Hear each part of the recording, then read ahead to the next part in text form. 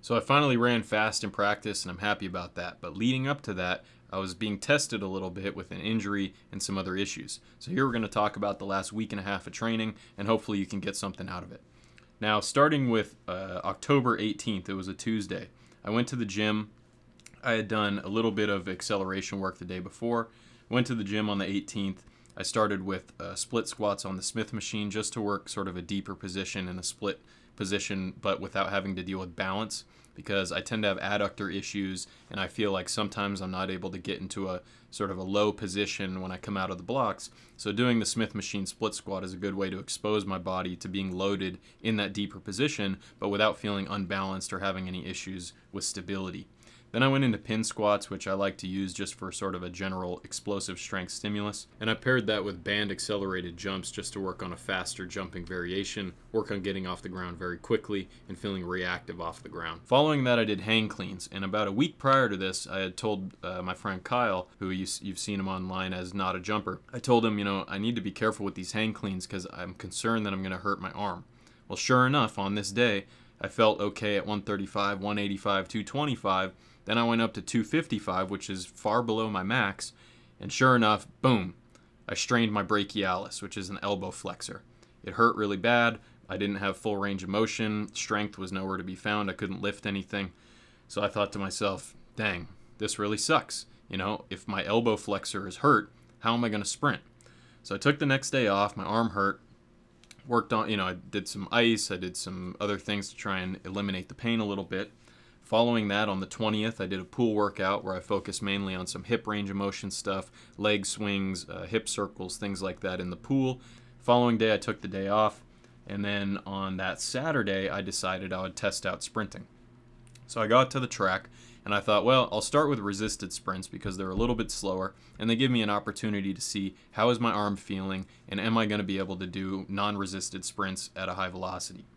So I did 3 by 30 meters with resistance using the Exergenie, sort of a moderate load. And I could tell that my arm was definitely not fully healed yet.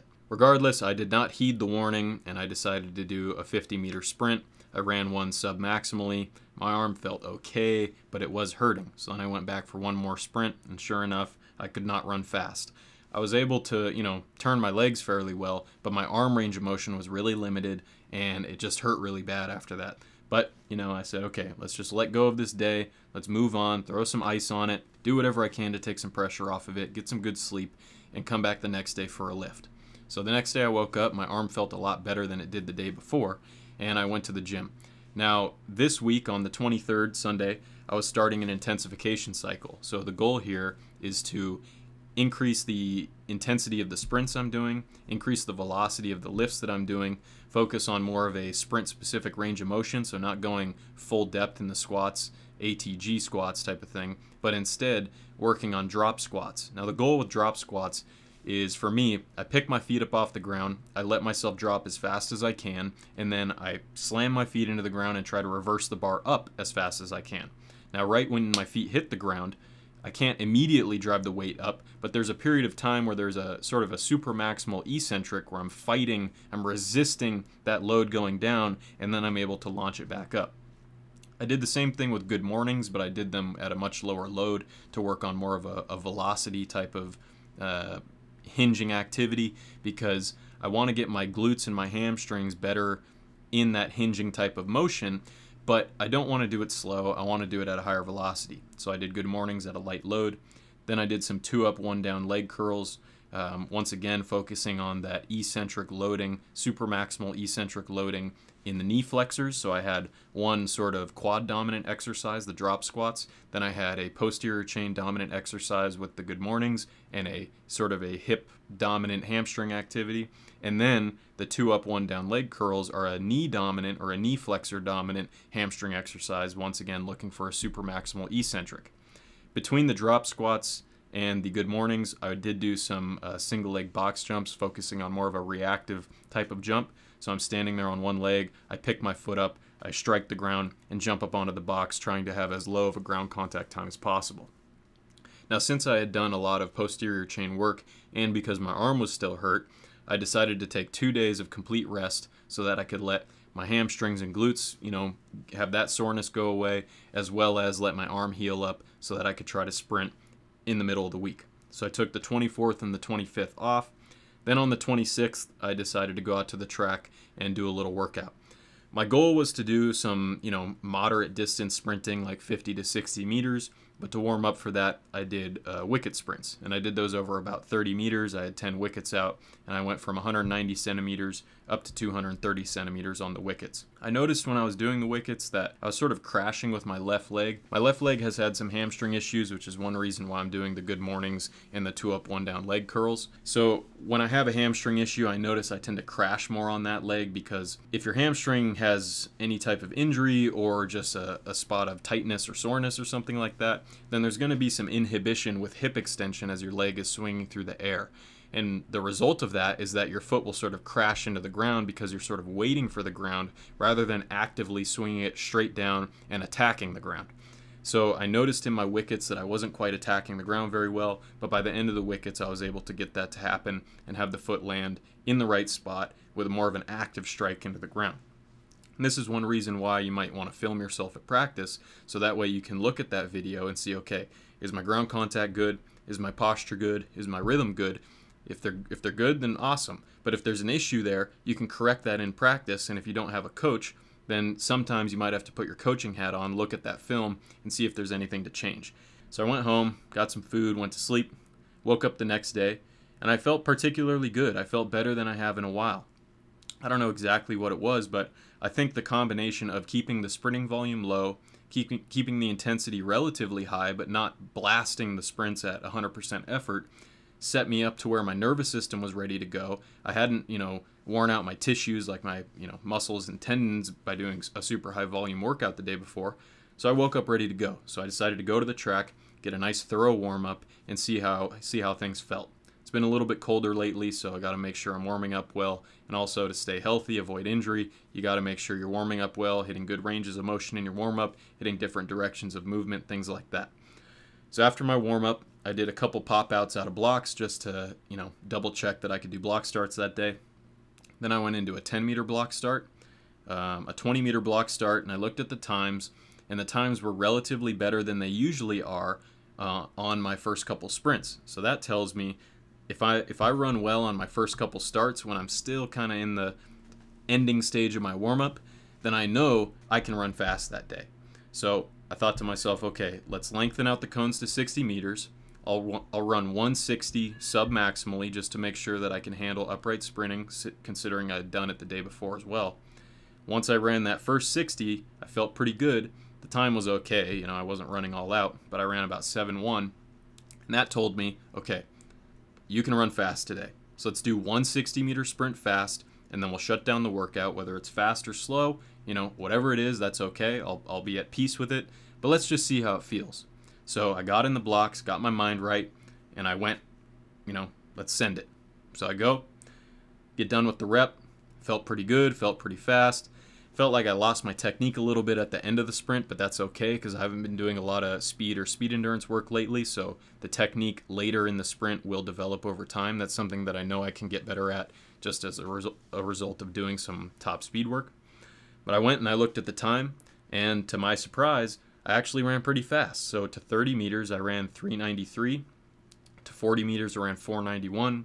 To 50 meters, I ran 590 and to 60 meters I ran 694. At that point I shut down the session because I didn't want to burn myself out and I did want to go to the gym later. But seeing those times, especially those acceleration times like at 30, 40 and 50 meters, that was really exciting to me because, you know, when you go through a period of time where either you're dealing with injuries or sickness or things like that and you're not running very fast, it can be a little demoralizing. So this was kind of a breakthrough moment for me in this off season because this is very encouraging to see in October that in you know during a time where I'm maybe not in the best overall state because of a, pre- a, little injury I had or having to take extra time off or whatever, I was able to run fast. So I think because I did a low volume sprint session at 95 to 98 percent, I was able to get my system revved up, get my body you know in the in the mode of sprinting, nail down some technique you know aspects that I wanted to work on, but not burn myself out so much so that I could come back the next day do an even lower volume sprint session, but run it much faster than the day before.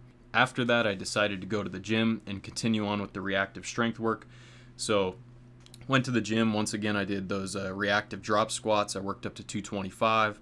I paired that with the single leg jumps onto the box, the single leg reactive box jump, which I like it because the shin angle where you're, that you're striking at when you do these jumps, you are in sort of a mid acceleration position with the shin angle, and that's something that I feel I've always needed to work on is the middle of acceleration. I tend to have a good 10, kind of a weak 10 to 20, and then I'll start to get faster again. So working on jumps and other exercises with that sort of slightly forward shin angle I think is good for me. So I did those. Then I went back to those uh, good mornings that are fairly fast. I only went up to 115 pounds, but I did them in a very reactive and, and fast manner. And then I paired that with a hinge jump, where you do the same motion as a good morning, but you finish it with a jump.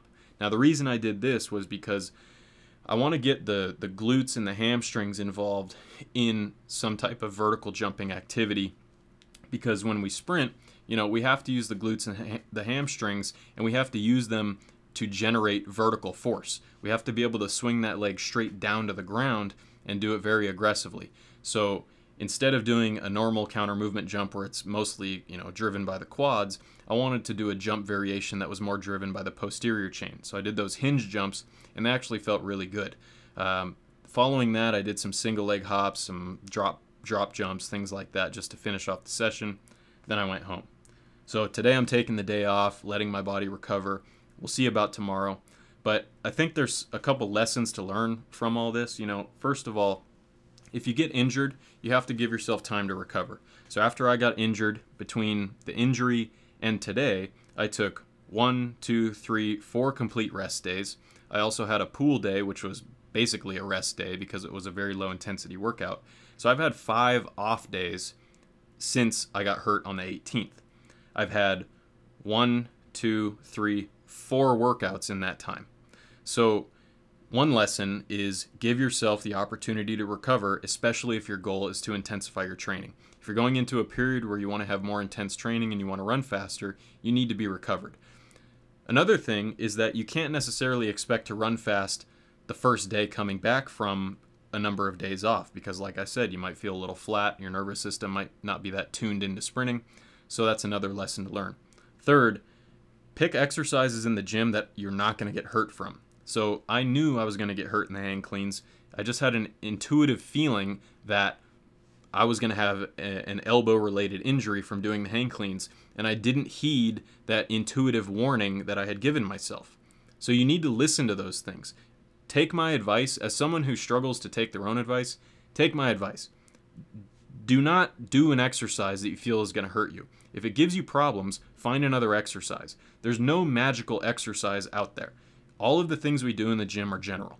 So if hang cleans are bothering you, do a hex bar jump, do a dumbbell jump, do a regular jump, do a drop squat, do something else. You don't have to use an Olympic lift variation if you're having trouble with it.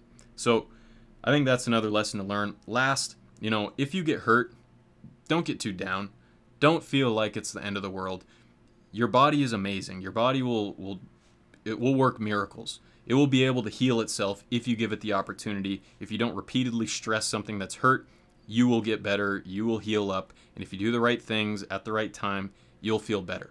So as you're going through your prep, understand there's no perfect prep, there's no perfect season, there's no perfect program. There's always going to be ups and downs. But if you stay mentally in tune, you keep your emotions in check, you keep training as much as you can without injuring yourself, you will improve. So hopefully this can be motivating to you guys, give you some insight into how I'm training at the moment, as well as show you that just because you have a little, you know, bump on bump in the road um, on your journey to run faster, that isn't the end of the world, and you can get through it. If I can get through it, I'm just some normal dude out here training, then you can get through it too. Well, that's all I have for you guys today. I hope all is well in your world, but that's it for now. So this is Cody Bidlow with SprintingWorkouts.com and AthleteX, signing off.